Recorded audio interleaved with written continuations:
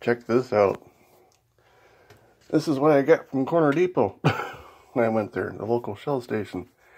I didn't buy these. I just bought, you know, the stuff to make, you know, the stuff to make it with. I'm having a couple beef stew dogs for dinner.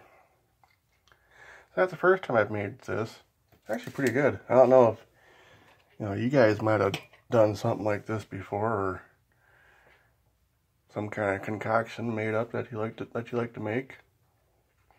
So if you had stuff like if you had this before, just let you know, let me know.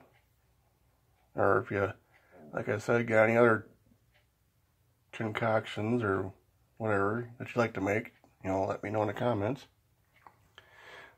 You know, that's, that's all you need really is a can of beef stew and hot dog buns. There you go.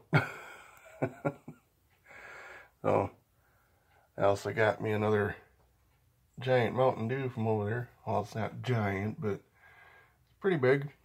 So, yep, alright.